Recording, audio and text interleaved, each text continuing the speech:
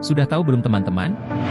Timun memiliki lebih dari 90% air, menjadikannya salah satu buah dengan kandungan air tertinggi. Madu adalah satu-satunya makanan yang tidak akan kadaluarsa jika disimpan dengan baik karena sifat antibakteri alaminya. Saffron, rempah termahal di dunia, berasal dari bunga Crocus sativus dan dibutuhkan sekitar 150.000 bunga untuk menghasilkan 1 kg saffron. Coklat awalnya digunakan sebagai minuman, bukan makanan, oleh suku Aztec di Meksiko pada abad ke-16. Nasi adalah makanan pokok untuk lebih dari setengah populasi dunia, menyumbang hampir 20% dari total konsumsi kalori global.